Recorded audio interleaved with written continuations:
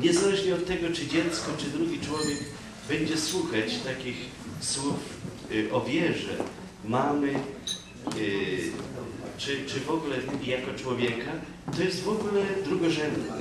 Czy drugi chce słuchać, czy nie chce. Ale jak my się dzielimy, jak ta radość życia z Bogiem promieniuje przez nas, to musi być ważne, żebyśmy my sami tym żyli i oczywiście dzielili się.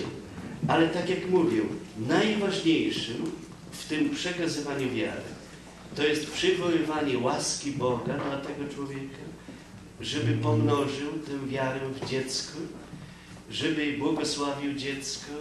Y, także tutaj znowu pierwsza rzecz to jest ta, ta przyjaźń z Bogiem. Panie Boże, wejdź teraz do serca mojego dziecka. Mieszkaj w nim. Widzisz, że ono Ciebie potrzebuje. Widzisz, że ono ma jakiś kryzys wiary na przykład.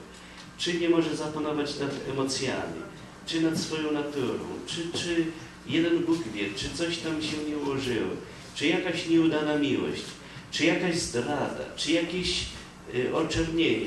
Trzeba powiedzieć człowiekowi, że słuchaj, nie ma czasu na rozgoryczenie, na użalanie się. Po co to wszystko? Strata czasu. Miłuj.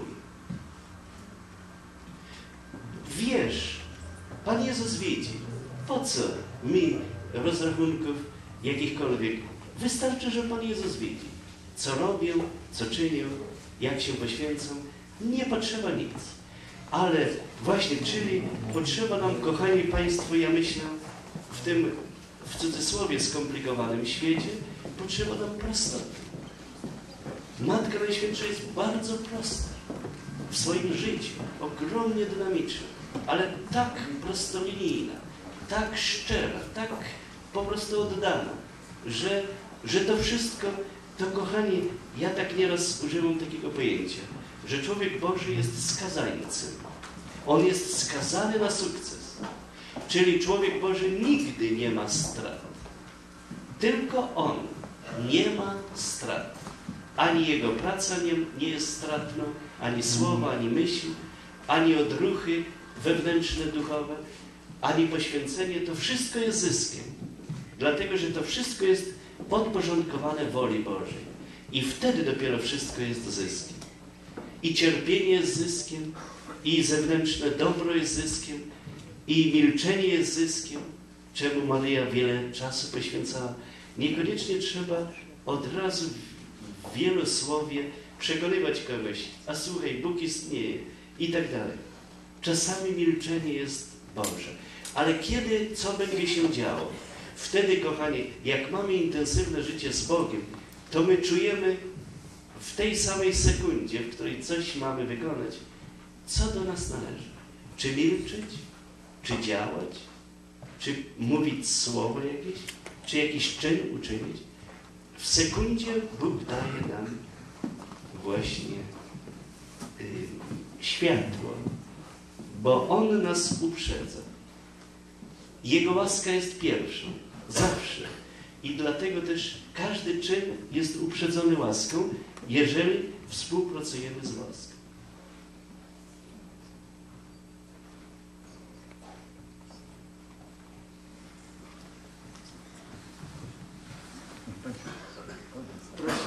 Panie profesorze, ja bym chciał e, przypomnieć jeden zwrot, tego, który Pan użył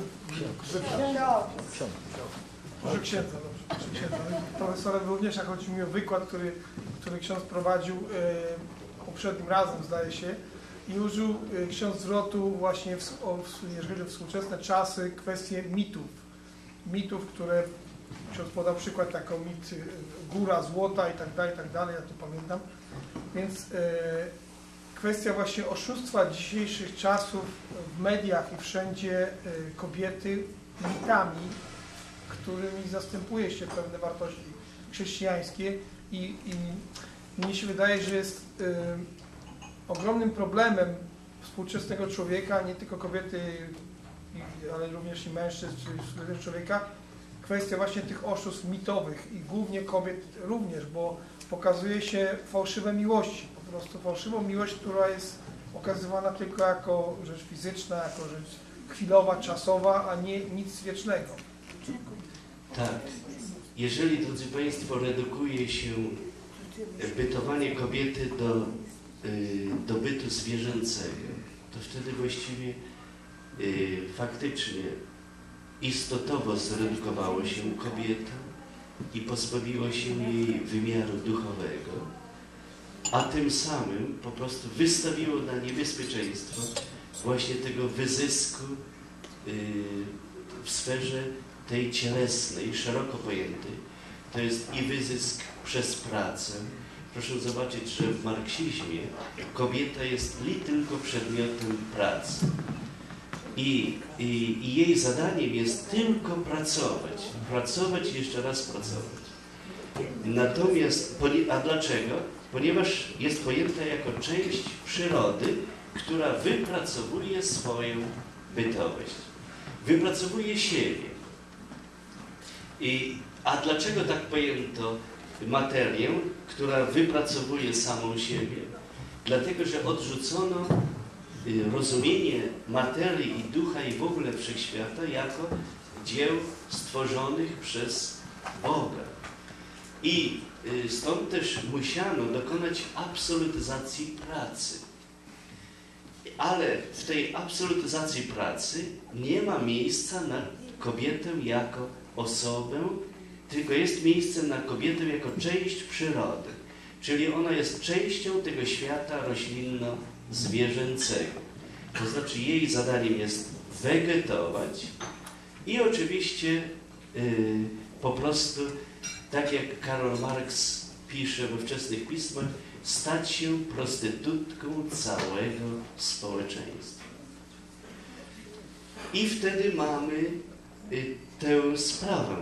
Y, to y, właśnie i dlatego tworzy się dzisiaj mityczne rozumienie kobiety i człowieka i świata. To znaczy, że ja bym powiedział, że nawet chyba jesteśmy, nawet w epoce mitu się nie mieścimy, jeżeli tak, taka jest pogarda kobiety, przecież nawet w epoce mitu, drodzy Państwo, nie było takiej pogardy y, kobietom. I przecież y, szereg bóstw było przedstawianych jako kobiety. A więc co to oznacza? Że w epoce mitu było jakieś tam rozumienie boskiego pochodzenia kobiety. Bo pośród bóstw istniały kobiety. Ale dzisiaj nie tylko, że skasowano wszystkie bóstwa, lecz co więcej, pozbawiono właśnie kobiety nawet tego wymiaru y, jakoś tam duchowego. I, I dlatego też właśnie mamy dzisiaj taką sytuację, że y, właśnie y, nigdy w dziejach, nigdy w dziejach, na żadnym etapie dziejów tak brutalnie, tak, ja bym powiedział, bestialsko nie poniżono kobiety jak w naszej epoce. Ale przepraszam, tutaj pani, proszę bardzo. Ja chciałam powiedzieć, że największym problemem kobiety jest to, że jeśli ja mam życie spędzać z, z mężczyzną, uchylić mu nieba, ja muszę wiedzieć, czy to jest właściwy człowiek, z którym ja mam życie spędzać i mam go po prostu miłować, uchylić mu, mu niebo, czy on jest stanie przede mną potem jako Bóg. Jeśli za dużo po prostu ja daję serca w tą, w tą przyjaźń. Właśnie, myślę, że w, w pytaniu pani ukrywa się y, pewna rzecz, a mianowicie, jeżeli chcę żyć jako kobieta po Bożemu, Tak. czyli y, reprezentować Boga przed Nim i prowadzić Go do nieba, czy On nie nadużyje Tak mojej dobroci i tak dalej. Mnie się wydaje, drodzy Państwo, że y, kwestię nadużycia y, my, my jej nie opanujemy, to znaczy my jej nie możemy y, wykluczyć. Dlaczego? Dlatego, że wola, wolna wola drugiego człowieka jest zadaną człowiekowi i on ją realizuje. Czyli nawet jeśli jest się w małżeństwie, to nie można jako żona określić woli męża, można tylko ją inspirować, żeby była doskonałą, świętą, ukierunkowaną na dobro, na miłość i tak. I i właśnie, i tutaj to ryzyko, czyli to ryzyko nadużycia, ono istnieje. Dlaczego istnieje? Ponieważ raz nadużyto wolności. I to fundamentalnie, śmiertelnie, przez anioła światłości. W związku z tym, po upadku anioła światłości i pierwszych rodziców, to ryzyko tego, że drugi może nadużyć wolności jest. Ale jeżeli kobieta, czyli żona, jest naprawdę Bożą, jest naprawdę Bożą, nie z pozoru Bożą, naprawdę Bożą, to tylko, kochani Państwo, moje przekonanie jest, że tylko wtedy, kiedy, to, bo to nie tylko dotyczy małżeństwa, lecz w ogóle relacji międzyludzkich, my stajemy przed tą alternatywą, czy być Bożym naprawdę, czy jednak tworzyć sobie różne atrapy, pozory, czy wytworzyć sobie własne człowieczeństwo, takie w pewnym sensie iluzoryczne, między innymi w celu zabezpieczenia się, żeby ktoś mnie nie nadużył. Drodzy Państwo, ja uważam, że nie mam yy, chwili bym się nie zawahał. Nie można tworzyć człowieczeństwa iluzyjnego, bo ono prowadzi donikąd.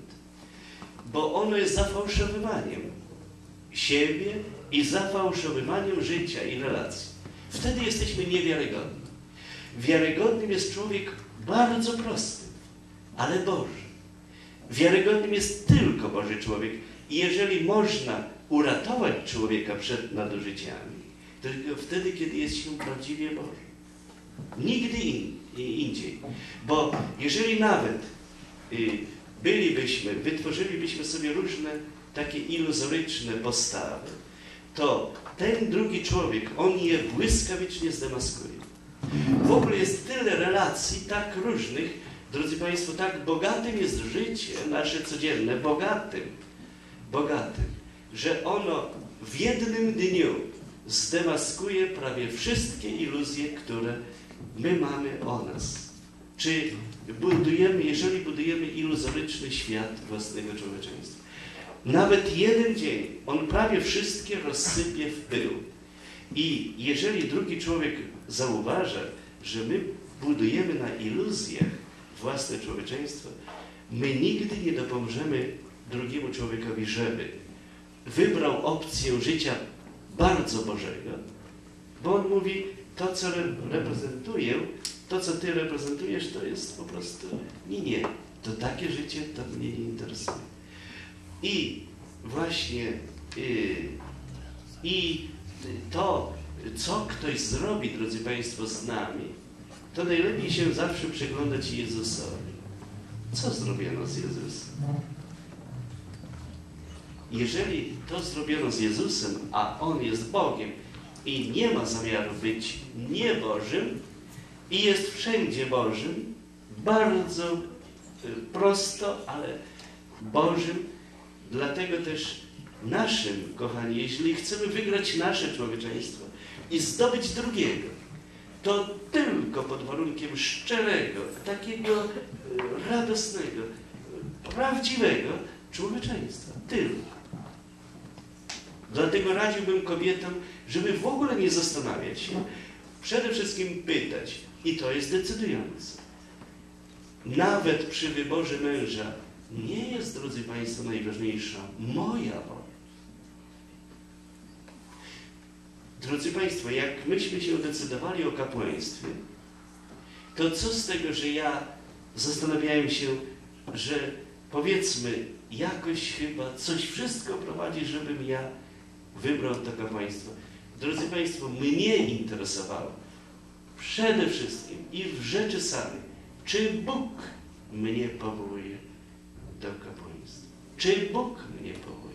Czyli jak, jak ja bym pytał, jeżeli bym miał w planie małżeństwo, ja bym nie pytał, czy, co to, czy, czy ta kobieta mi się podoba, czy coś, tylko przede wszystkim, Panie, powiedz, jaka jest Twoja rola? Przecież tylko z tą kobietą może być mężczyzna szczęśliwy, którą Bóg Stwórca przeznaczył do niego. Przecież Bóg nas powołuje do małżeństwa.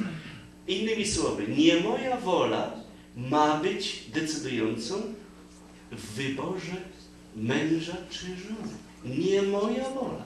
Choć to będzie moje małżeństwo. Ale de facto w pierwszym rzędzie będzie to małżeństwo Boże. Czyli w gruncie rzeczy, proszę zobaczyć, już mamy problem w punkcie wyjścia, że jeżeli powiem, ja chcę tego mężczyznę za ja chcę, ja go wybieram, o nie. Kiedy nie będę się bał tego ryzyka wspólnoty z drugim? Kiedy ja się zapytam, czy to jest wolą Bożą, ta relacja.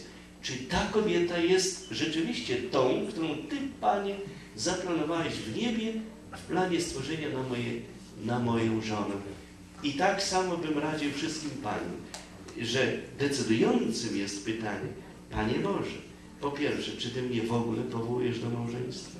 Po drugie, który mężczyzna powinien być moim mężem? I jeżeli ja tak ustawię, tak jak Maryja, proszę zobaczyć, i, Maryja i święty Józef, jak oni, zanim y, właśnie stali się małżeństwem, jak, jaka tutaj akcja się dzieje? Święty Józef już dystansuje się i tak dalej, a anioł Boży mówi, o nie, święty Józefie, to jest Twoja małżonka. Bóg wybrał ją na Twoją małżonkę, a Ciebie na jej, na jej oblubieńca. Więc proszę zobaczmy, kochani, znowu ustawiamy tutaj, że w aspekcie mojego chcenia małżeństwa nie może być mojego po prostu tylko planu. To musi być plan Boży. A jeżeli plan Boży, i ja wiem, że ten mężczyzna jest dla Pani czy dla, dla kobiety zaplanowany, to wtedy trzeba czynić wysiłki, żeby wszystko uczynić, żeby to małżeństwo doszło do skutku. Czyli odczytywanie planu Boga. To jest decydujące. Nic z naszej woli, bo ona jest stworzoną, a więc nie jest architektem yy, i planu wszechświata.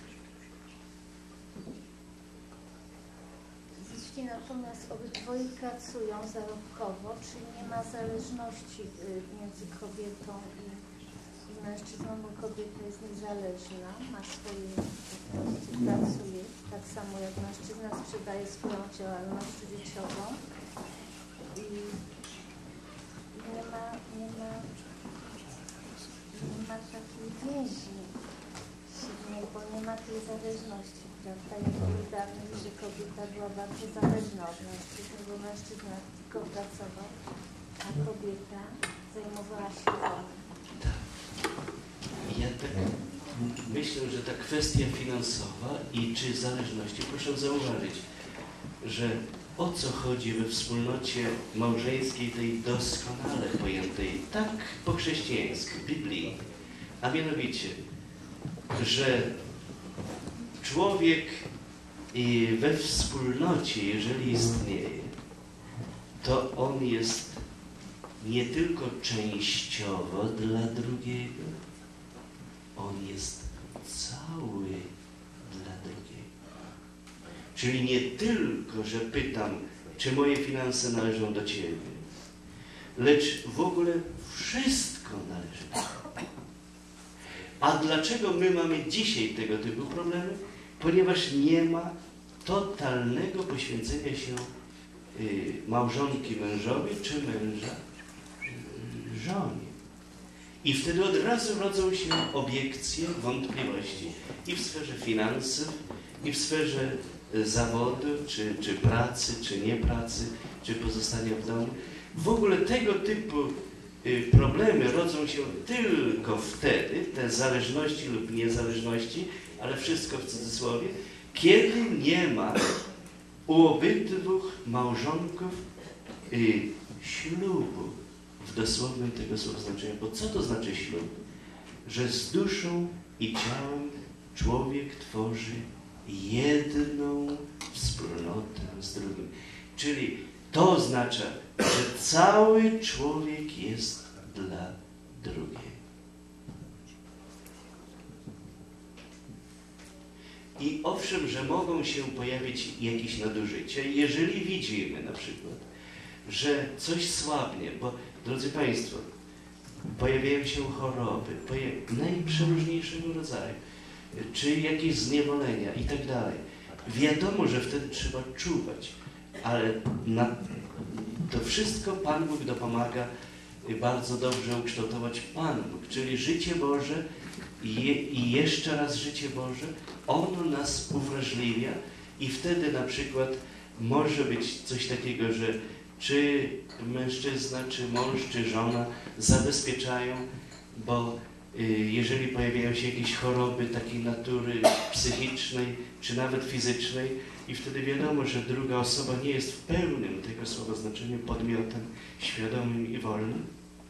I wtedy druga strona zdrowa y, i na duszy i ciele musi zadbać o na przykład dobro materialne małżeństwa i rodziny. Musi zadbać, to jest obowiązek, żeby praca nie została zmarnowaną. Bo czym jest pieniądz? Jest, pieniądz jest zakodowaną pracą człowieka. I w związku z tym trzeba go szanować i cenić, bo my nie cenimy pieniądza dla pieniądza, tylko my cenimy pieniądze ze względu na włożoną w nie pracę. Tylko, że ludzkość się umówiła, że to, tę zakodowaną pracę nazywamy pieniędzmi. Ale normalnie powinno się e, właśnie nazywać pieniądz, że to jest praca ludzka. I właśnie i w związku z tym tego typu problemy rodzą się tylko ze względu na brak y, życia opartego na ślubie małżeństwa. Na ślubie, czyli na totalnym poświęceniu się drugiemu jako drugiemu. Proszę bardzo. To znaczy, jeżeli ja to dorzucić do, do, do tego tematu, który poruszyłem wcześniej, a propos kobiet, y, jest kwestia, mi się wydaje, też świadomości tego, żeby wiedzieć skąd się wzięło w XX wieku, od początku szczególnie właśnie zniszczenie kobiet, bo jest to dosyć ważny punkt w historii, w historii nie pamiętam, który to, y, jak się nazywał, mason francuski, który z Arnoldem Pike'iem ideologię masonerii amerykańskiej ko korespondował i dokładnie zadał mu pytanie listownie, te listy istnieją w dzisiejszych czasach, są udostępnione we Francji, zdaje się, zadał mu pytanie, y, y, żeby, za, żeby opanować świat, musimy zniszczyć rodzinę. I, i Arnold Pike mu odpowiedział, jeżeli chcesz zniszczyć rodzinę, musisz zniszczyć kobietę. Więc tu jest ważne to, właśnie wtedy we Francji zaczęły pierwsze ruchy feministyczne z zrobieniem plaż nudystów, z właśnie wprowadzaniem między innymi we Francji właśnie masoneria próbowała trzy razy w tej chwili już wprowadzać, wprowadzać prawo ślubu pięcioletniego tylko. Właśnie po to, co w tej chwili ksiądz powiedział przed chwileczką, dlatego mi się to przypomniało między innymi, żeby zniszczyć w ogóle ślub jako taki. Bo wiadomo, że ktoś będzie odnawiał raz, drugi, trzeci, a w momencie w pewnym wieku powiesz, mam tego dość. Tak, tak, oczywiście. Dlatego jest to dokładnie zaplanowane, zniszczenie kobiet od, od co najmniej wieku. I tak jest to wprowadzane wszędzie. Gdzie, gdzie Karol Marx mówił o, o, o wykorzystywaniu pracy kobiety również, a jego brat powiedział, że człowiek nie powinien pracować więcej jak 4 godziny. Także tu jest, widzimy, co się dzieje generalnie. Oczywiście, ja też bardzo dziękujemy Panu. Ja też yy, popieram tę interpretację, że zarówno masoneria, jak też szereg ruchów tych rewolucyjnych, socjalistyczno-komunistycznych, liberalistycznych, nazistowskich, te wszystkie ruchy, kochani, mają wspólny mianownik. To jest pogarda człowiekiem w ogóle i kobietą niesamowitą. Przecież na, y, w czasie II wojny światowej naziści, co oni wyprawiali z kobietami? Czy później Rosjanie przyszli, to co Rosjanie, komunistyczni żołnierze sowieccy, co oni wyprawiali z kobietami? W Niemczech mi opowiadano, że jak zbliżała się Armia Czerwona, to już po prostu uciekano, wszystkie kobiety uciekały, bo rozeszło się, że niesamowita fala gwałtów y, nastąpiła właśnie y, tam. Oczywiście oni częściowo się rekom chcieli zrewanżować y, nazistom ze względu na, na ich postawy, ale trzeba powiedzieć, że zarówno nazizm, jak też komunizm ma, miały to, to wspólny mianownik, że po prostu nie traktowały żadnego człowieka jako osoby, także kobiety. Stąd też taka pogarda kobietą jako człowiekiem i jej bytowością i, i pogarda ciała i to wszystko. I drodzy Państwo, tutaj nie sposób przytaczać i psychoanalizy Zygmunta Freuda, która jest powszechnie tutaj wykładaną w Kanadzie i nie tylko w Kanadzie i w USA i w innych częściach świata na uniwersytetach, a, a Freud pogardzał kobietą niesamowicie. Zresztą dla niego w ogóle kobieta czy mężczyzna to nie są ludźmi, nie są osobami. Tylko przedmiotami wyzysku, bo skoro istotą naszej bytowości jest popęd seksualny, czy to kobiety, czy mężczyzny, no to wtedy rozumiemy, że ta promocja seksualizmu światowego i, i to bierze się właśnie stąd, że dokonano takiej pogardy kobietom w różnych y, systemach ideologicznych i które są, drodzy Państwo, o, co jest szalenie zaskakujące, wykładane do chwili obecnej na naszych uniwersytetach.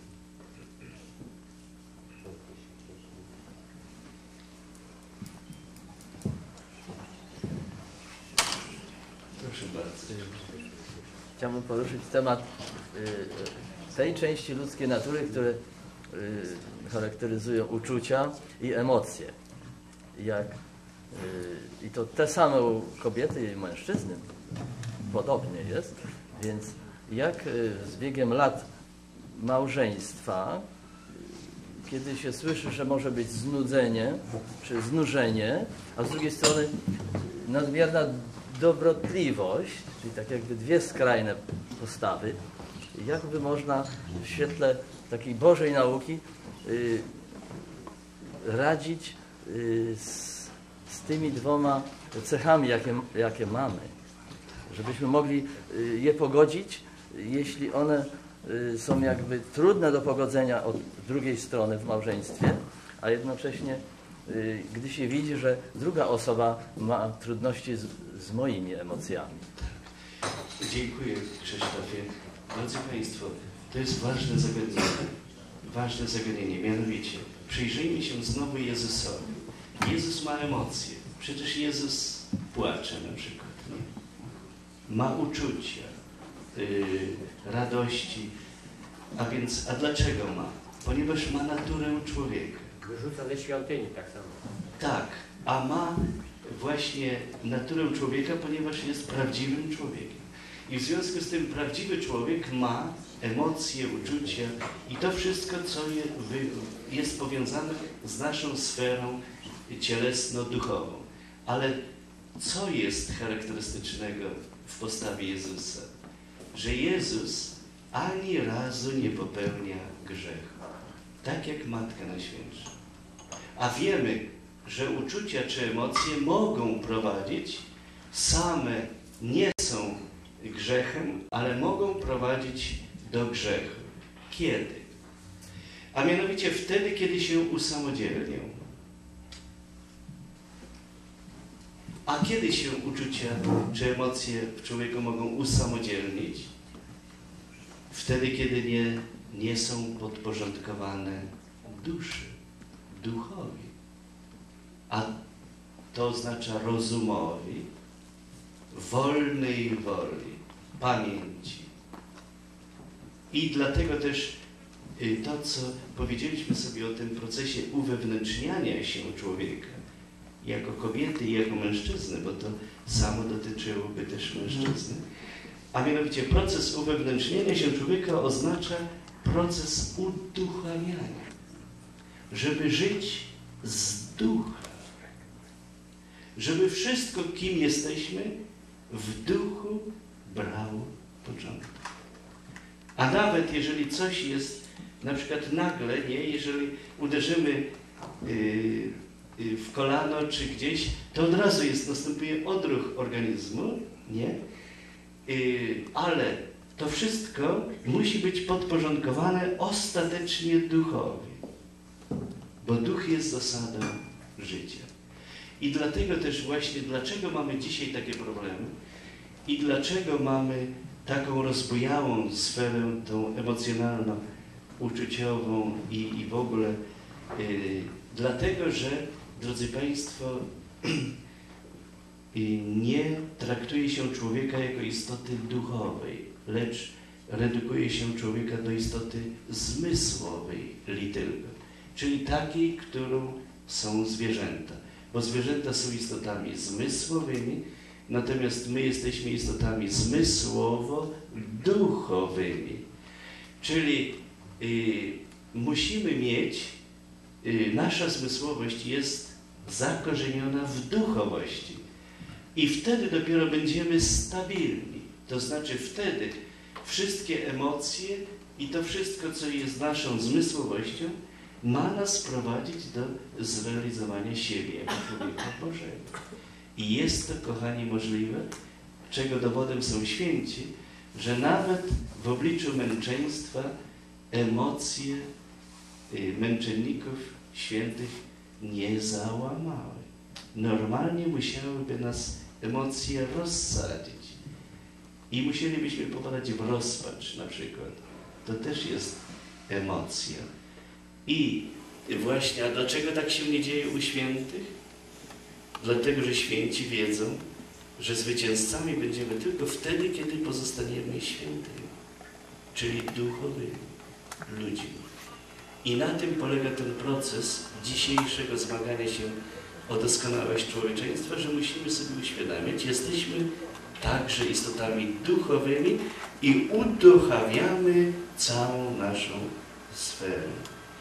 I to jest też bardzo ciekawe, jak na przykład gdzieś tam człowiek wchodzi do warsztatu samochodowego, czy gdzieś, gdzie sami mężczyźni pracują, to, to tak się sprawia wrażenie czasami, że jak sobie nie zaklną, zaklną to nie są y, prawdziwymi mężczyznami. A to jest wprost przeciwnie. To jest, wtedy bytuję zwierzęce. Wtedy jestem zwierzęciem. Dlatego, że argumentuję z pozycji zmysłowości. A zmysłowość to jest właśnie typowa także dla zwierząt. Ale to, co mnie odróżnia, to jest właśnie duch, rozum, wolna wola, pamięć. I wtedy właśnie wszystko trzeba uduchowić. Czyli stać się duchowym człowiekiem, o czym właśnie między innymi nasz błogosławiony Jan Paweł II tak wielokrotnie, szczególnie może do młodzieży mówił, ale nie tylko. Uduchowić życie. To jest to szalenie ważne. I nie pozwolić się, bo człowiek uduchowiony, on się nie, pro, nie pozwoli wyprowadzić z równowagi. Nie ma takiej sytuacji, która człowieka duchowego wyprowadziłaby z tej przysłowiowej równowagi. Bo ducha nic nie jest w stanie wyprowadzić z równowagi. On daje równowagę. On jest racją równowagi. Proszę bardzo. Mi się nasuwają tutaj pewne wątpliwości. Słowa wypowiadane w stosunku do grupy społecznej, czy w stosunku do kogoś, które można uznać za przekleństwo, wyzwisko, jeżeli, kiedy właśnie to jest grzech. Bo przecież, czy to zawsze jest grzechem? Bo przecież wiemy, że Chrystus, właśnie Chrystus mówił o faryzeusach, jest plemię żmijowe, czyli okrutne wyzwisko, przekleństwo do konkretnych ludzi. To żadne pobielane choroby, naj, najgorsze rzeczy, jakie można sobie wyobrazić, że można mówić i z którymi sobie wierzy, że Chrystus bez grzechu. W związku z tym wypowiadane y, o- na określone słowa o, Kościół uczy, że nie można kierować złych słów, wyzwisk w stosunku do ludzi, tylko do czynów. Ale właśnie Chrystus kierował te słowa do konkretnych ludzi, a nie do czynów, które wykonał.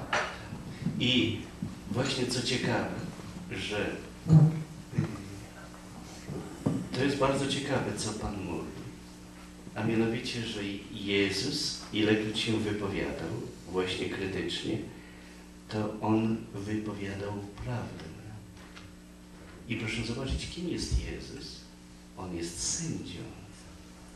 On jest Bogiem. Czyli Jezusowi wolno y, wybierać kogoś dla życia wiecznego. I tylko Jezusowi, Jezusowi Bogu jest zarezerwowany sąd. Czyli jeżeli Bóg potępia, to co to znaczy? To znaczy, że ten człowiek służy szatanowi. Jezus wtedy tylko stwierdza stan faktyczny. Ten człowiek przynależy do szatana. A co to oznacza? Sam siebie potępia. To pod tym pojęciem potępia to jest w tym sensie, że y, Bóg oddzieli tych, którzy chcieliby czynić zło i oni będą mieszkać w piekle. Ale nie, nie Bóg potępia, bo On jest święty, tylko oni sami pod siebie potępili. W związku z tym, co Jezus nazywa pod tymi pojęciami groby pobielane? On tylko artykułuje prawdę o tym, kim ci ludzie uczynili samych siebie, bo On zna pełną prawdę. Na, i, I dlatego, i właśnie jak, proszę zobaczyć, jaka to jest różnica. My, ponieważ nie znamy pełni prawdy i powinniśmy artykułować prawdę na miarę naszego poznania, a z drugiej strony, dlaczego nie wolno potępiać? Bo, ponieważ Pan Bóg nie potępia. Oni sami, szatan, Pan Bóg nie potępił szatana, tylko szatan potępił swoją y, osobę anielską sam. Czyli on sam siebie, bo potępienie to jest skazanie siebie na zło. I teraz, gdybyśmy y, tak rozumieli Boga, że Bóg skazał anioła światłości na zło, czyli potępił y, szatana, to wtedy byśmy powiedzieli, Bóg jest zły. Tak powiedział Marcin Luther. A nauka Kościoła mówi, tutaj precyzuje nam, że pod tym pojęciem Bóg potępia kryje się tylko, że Bóg oddziela tych, którzy po, potępili ich anielski lub ludzki byt, oddziela ich od ludzi zbawionych. Na tym tylko polega działanie Boga. Właśnie y, i, i dlatego historia zbawienia się zakończy wtedy, kiedy po prostu zakończy się historia stworzenia i czyściec, kiedy czyściec zostanie opróżniony i wszyscy przejdą do Królestwa Niebieskiego. Właśnie. I dlatego też y, tutaj, jeśli chodzi u nas, proszę zobaczyć, y, i kiedy przekleństwo na przykład dane jest grzechem, a kiedy nie. Kiedy na przykład przekleństwo jest wyrazem takiej emocji, y, którą, którą kodujemy powiedzmy pod jakimś przekleństwem, czy polskimi, czy amerykańskimi, ale to jest w sensie tego, że, że ta emocja jest takie, jest to forma wyładowywania emocji, ale y, przedmiotem danego przekleństwa nie jest potępienie drugiego człowieka jako człowieka. I, I dlatego Jezus powiedział do ludzi, ale od takiego przekleństwa różni się istotowo inne przekleństwo. Jeżeli ktoś, tak jak mówimy, rzuca przekleństwo na drugiego, to dlaczego Jezus zabronił? Mówi, nie potępiajcie, żebyście nie byli potępieni. Dlaczego? Co to znaczy potępić kogoś? To znaczy wy, wypowiedzieć definitywny, negatywny sąd jego osoby. I dlaczego z dwóch racji takie przekleństwo jest grzechem? Po pierwsze, nie człowiek jest sędzią, czyli my definitywnie nie możemy określać jakości moralnej drugiego człowieka. I po drugie, jeżeli byśmy potępiali, czyli przekreślali drugiego człowieka, a nam nigdy osoby potępić nie wolno. Tylko jeżeli coś krytycznie oceniamy, to tylko słowa, myśli, czyny, postawy, gesty, to możemy y, oceniać y, i odrzucać i y, w tym sensie potępiać, że to jest grzech śmiertelny i to musi być potępione. Ale tylko ten czyn, ta myśl, ta, to słowo, kiedy wiemy, że to jest materia ciężka. Tak, ale nigdy właśnie to, co Jezus mówi, nie potępiajcie, żebyście nie byli potępieni, to znaczy nie przekreślajcie, nie strącajcie kogoś do piekła, bo przepraszam, i tak my tego nie potrafimy dokonać, bo Pan Jezus nawet w dzisiejszej Ewangelii powiedział, On będzie sądził. I, czyli już przekraczamy dwukrotnie y, porządek prawa i miłości, że definitywnie oceniamy, a my nie jesteśmy do tego sądu powołani. I drugie, że strącamy kogoś do piekła, bo to się kryje pod przekleństwem, bo oddajemy kogoś szatanowi. I, i, i to jest grzechem śmiertelnym. Mam pewne wątpliwości. Jeżeli mówimy, że Chrystus był bez grzechu, to znaczy był, ja rozumiem to co ksiądz profesor powiedział, że gdyby to człowiek powiedział, to znaczy wyzwał tych parę uszy, plemię żmijowe, groby powielane, to byłby to grzech. Ponieważ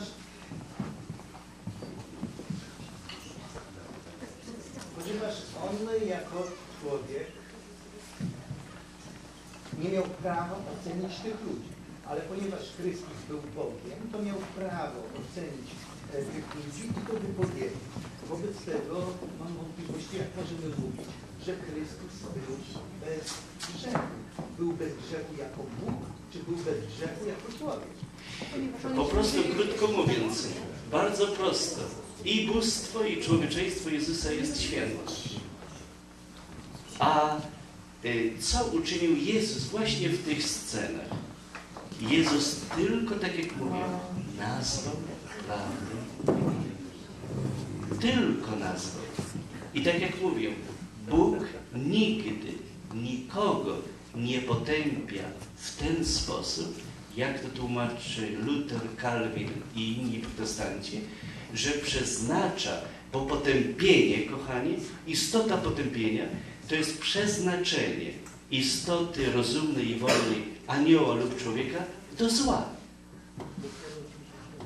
To jest istota potępienia.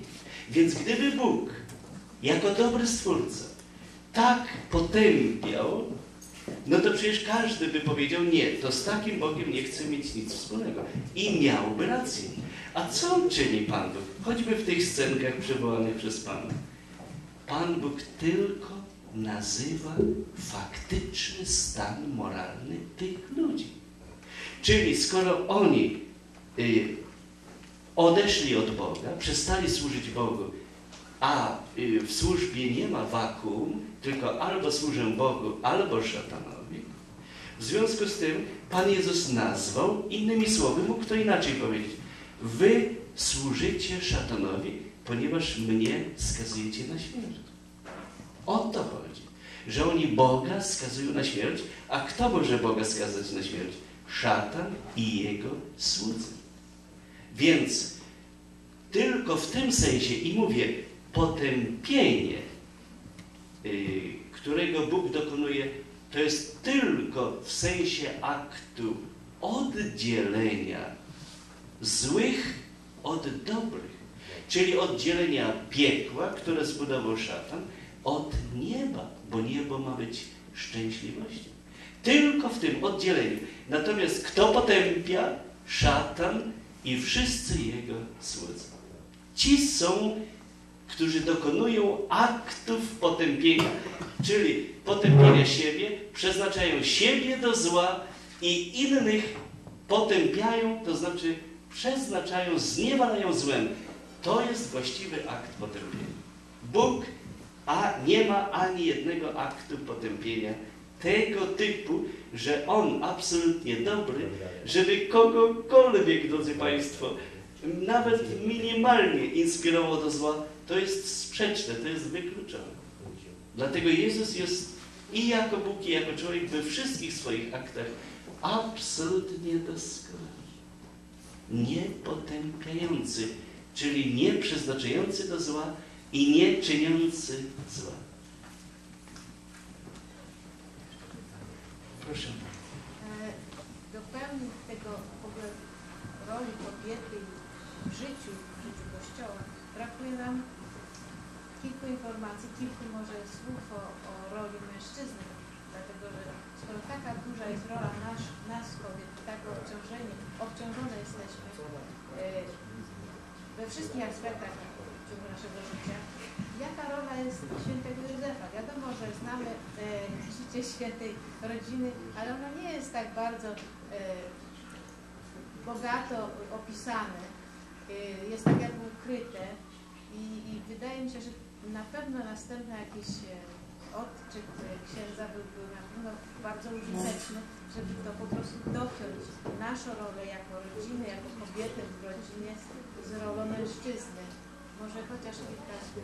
Tak myślę, drodzy Państwo, że to jest świetna idea, ale faktycznie na nowy y, y, dzień, nowy temat, a ponieważ nam się dni te razem, które spędzamy, kończą, dlatego też myślę, że jak kiedyś dane mi będzie jeszcze powrócić tutaj do Was, to już temat mamy zapewne gotowy, ale tak najkrócej mówiąc, to jest, drodzy Państwo, analogia analogia między życiem i misją i naturą kobiety i mężczyzny. Oczywiście to przesunięcie pewnych akcentów wiadomo jest i będzie i to zobaczymy, ale generalnie patrząc te, te zasady jakby bycia człowiekiem i, i metody jak zrealizować swoje człowieczeństwo są te same, ponieważ i mężczyznę i kobietę powołał Bóg, on określił nasze powołania i ostatecznym przeznaczeniem ze względu na to, na co kobieta jest kobietą, a mężczyzna mężczyzną, to jest miłość. Czyli na różne sposoby zarówno kobieta, jak i mężczyzna są powołane, żeby zrealizować własne człowieczeństwo y, w oparciu o miłość i ze względu na miłość i zrealizować ją jako istota miłująca. I właśnie yy, i tutaj yy, tak, to są bardzo yy, ciekawe te yy, sprawy i, i bytowość mężczyzny tak samo yy, właśnie, także chętnie podzielę się z Państwem tak, co w świetle filozofii właśnie powiedziano o mężczyźnie. całość, jakby całość, także y, przedstawił ksiądz nam bardzo pięknie rolę kobiety, y, wychowanie dzieci, wiara i, i relacje z Bogiem i wszystko, a brakuje mi tak jakby troszeczkę y, takiego połączenia z mężczyzną, bo to zostaniemy tak jakby półurwanym filmem. Rozumiem, ale to, przepraszam, nie było tematem naszego spotkania. Czy, proszę. Przecież święty Józef był teraz niedawno, to przecież to rola Józefa to jest mężczyzny rola. No to następne Ale powrócimy, Nie potrzeba powrócimy, proszę bardzo. Ja protestuję tutaj, bo ksiądz profesor tutaj mówił 2 godziny 10 minut na temat kobiety, więc mężczyźni nie są gorsi, więc jeżeli już ksiądz, kobiet, ksiądz profesor miałby mówić na temat mężczyzn, to co najmniej 2 godziny 10 minut. Nie można tak. I myślę, że nam nawet zabraknie czasu. Tak, ale na pewno to jest bardzo ciekawe i będziemy do tego nawiązywać i, i właśnie, także z całą pewnością. Tak. Drodzy Państwo, to ja bardzo serdecznie dziękuję, bo jest już późno, tak wiernie trwacie, Serdecznie dziękuję, pozdrawiam wszystkich Państwa. Niech Bóg błogosławi Was. I może na zakończenie Ojcze Józefie. Dobrze, ale i popro- może pomódlmy się za, za Panie wszystkie i za wszystkie kobiety świata, żeby Bóg Was jak najcudowniej pobłogosławił. W imię Ojca i Syna i Ducha Świętego. Pod Twoją obronę uciekamy się, święta Boża Rodzicielko, naszymi prośbami, racz nie gardzić w potrzebach naszych, ale od wszelkich złych przygód, racz nas zawsze wybawiać, Panno chwalebna i błogosławiona, o Pani nasza, orędowniczko nasza, pośredniczko nasza, pocieszycielko nasza, z Synem swoim nas pojednaj, Synowi swojemu nas polecaj, swojemu Synowi nas oddawaj. Królowo Polski, Królowo rodzin, Królowo wszystkich świętych, Pan z wami. Niech błogosławi Was, a szczególnie wszystkie kobiety całego świata, także naszego polskiego narodu, wszechmogący, miłosierny, sprawiedliwy i miłujący Was wszystkich niebiańską i odwieczną miłością Bóg, Ojciec i Syn i Duch Święty. Serdecznie dziękuję jeszcze raz. Niech będzie pochwalony Jezus Chrystus. Amen.